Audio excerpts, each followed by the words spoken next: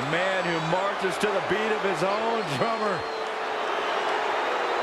Functions in his own world.